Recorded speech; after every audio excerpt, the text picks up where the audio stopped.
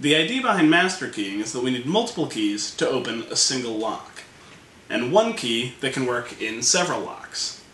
So if your landlord has a building, they'll be able to open every lock in the building with one key, but your key for your lock will never open your neighbor's key for their lock. Here's how master keying works. First, I'll just drop some pins into this lock so that we can explain the basics of how a normal lock works. As you know, when the key enters the lock, it will raise the key pins up so that the top of the key pin and the bottom of the driver pin sit together at the shear line. But what happens if we add another piece of metal between the key pin and the driver pin?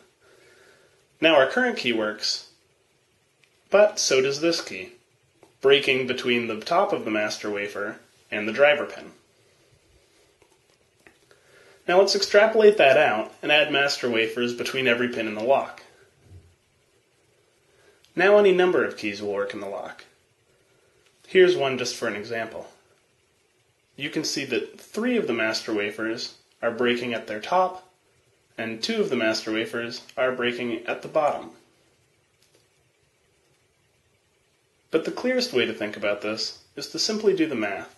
Even in a 5-pin lock, just one master wafer per chamber, that's two possible shear lines per chamber, so 2 to the fifth. That's 32 possible keys, 32 possible shear lines, and 32 possible ways to pick this lock.